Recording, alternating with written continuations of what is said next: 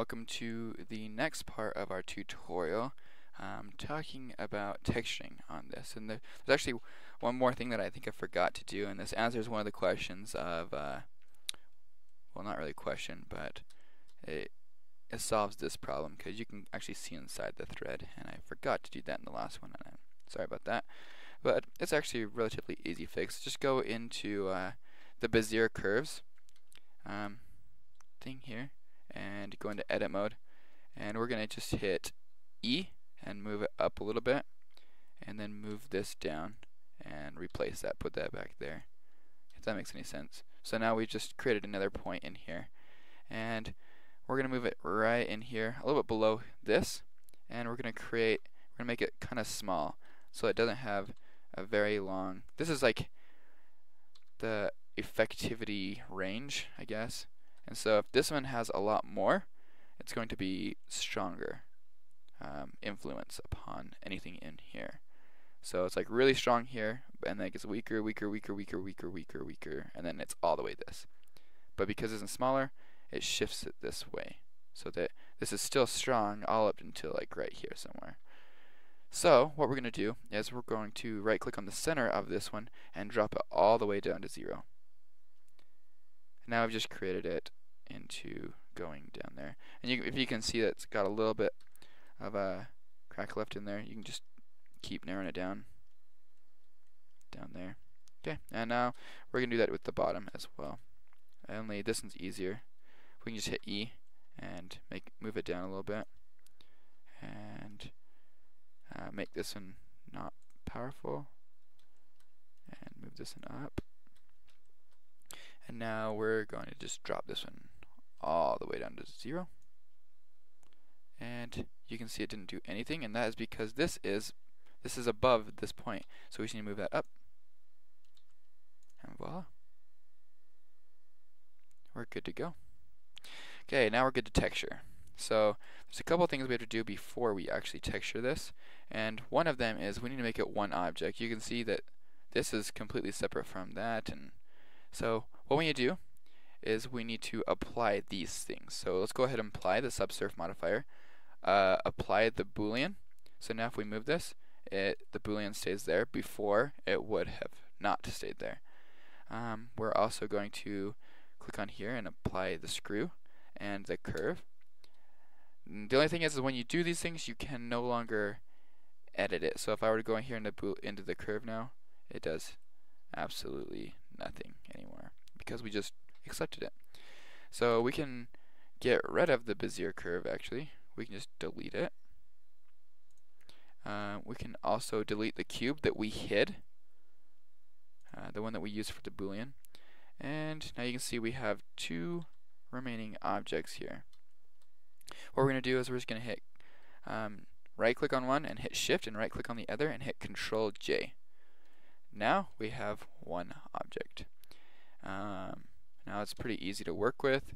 We can just move it around and have no worries with it. And there's no modifiers. And so if we hit tab, you can see that all of those different vertices are all in that one object, and there's a ton of them. But that's okay, because our computer can handle it. So, first off, let's split our screen up so that we can uh, see a little bit more of what's going on with that. So, right now, let me pull up the image so that you can see what we're working with. We're trying to get this like really glossy metal texture and it's actually really easy. It's not that hard at all.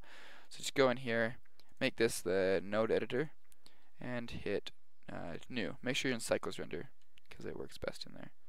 And then just to uh, make it so it's easier to see what's going on, let's stage it a little bit. So I'm going to split this so that I can always keep um, my camera view open. And um, maybe I should do this so you can see what I'm doing a little bit. So now you can see a little bit more of what I'm doing here. But first off, this is just my camera view. And um, this one still camera, but now it's not. I'm going to get rid of the side thing so I can make it a little bit bigger more working space and easier for you to see. So we're going to stage it a little bit. I'm going to hit Shift A, add mesh plane, and make it big. This is going to be like our floor. Um, we can make that pretty big. We can make this a little bit smaller. Move it up on top of the plane. And then we're just going to hit 1, hit Shift D, right click, R90. We have a back wall. Go 7, Shift D, right click, R90, and we have a sidewall. And so now we just have this basic little staging area and let's put our screw on the floor. So I'm going to go into wireframe mode so we can see the plane easier. I'm going to hit R90 negative. Um, I just want it to be facing this way, so that's why I put negative. You don't actually have to put negative. And I'm going to put it right there close to the edge here. And now I'm going to rotate it. And I don't want anything going below that line, but I want it touching it as much as I can. So you're going to have to work with it. And I think that's as good as I'm getting it. and then you can rotate it a little bit that way maybe. I'm to hit 0. now I'm in the, uh, well maybe I'll go top view here. And I'll go over here and this will be the, now I'm just to move my camera. If I hit G and I use, oop, go back into that. If I hit G and I use the middle mouse button, it's like a zoom almost. So I want to make this screw just fill up most of the camera so I can see what's going on a little bit easier. And I'm going to move it around, shift it. So if I hit R twice, it's like uh, looking around. If I hit R once, it rotates it this way.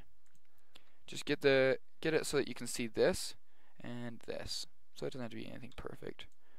But I think I like somewhere in there. and then you don't have to do this, but I'm going to put this in rendered mode. It depends on if you have a graphics card or not. If you do, it makes it a little bit better. If you don't, not a huge deal. So I just put GPU here, so I'm good. But now what we're going to do is we're going to right click on the screw and we're going to just delete the diffuse. Oops, undo that. Just just the diffuse, not the material output. I'm going to shift A and I'm going to put um, a shader and this is going to be one of the easiest shaders you ever did and that's because it's anisotropic.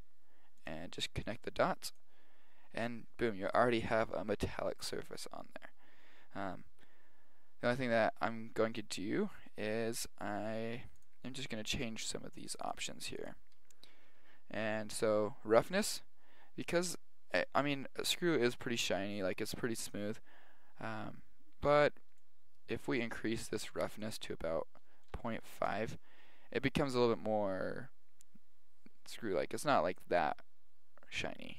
It's shiny but it's not that shiny. Um, anisotropy is like how pointed the shininess is. If we were down closer to zero then it just becomes like a dull metal object. But if you put like 0.5 or if you go 1 whoops 1 it's really shiny. So I'm gonna put 0.5 rotation really doesn't do too much in this. Um, it just moves it around here. So if you think it looks better one way than another you can but I'm just gonna leave it at zero other than that, like that's pretty much the gist of the uh, screw texturing. The only thing that to make it look a little bit better, because that doesn't really look like too much of a screw right now, is the lighting. So if we go over here, I'm going to go into wireframe just so I can see stuff easier. Um, let me.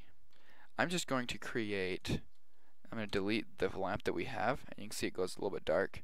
I'm going to hit Shift A, and I'm going to add a lamp or not a lamp, uh, I'm just going to add a mesh, a plane. And you're going to be like, why are you adding a plane? And how's going to, well, I'm just going to make an emission. Um, it adds na more natural lighting, honestly. Um, and so when you do that, you can just go in here to the material tab, hit emission in there, and then you can actually change the color of that too if you want. Um, I think I'm going to put it around 10 or so. And, well, it begins to look a little bit more like a screw. Just because it's more natural lighting. Uh, I'm just going to position it further away. And I'm going to create a simple three-point lighting system here. So I just created it so that we have three different um, light sources, and they're all pointing at this one. Um, I'm going to lower, lower probably this one. Make that one a little bit closer, rotate it. There's not really like a huge science, you just have to create those three different light sources to get rid of some of these unnecessary shadows.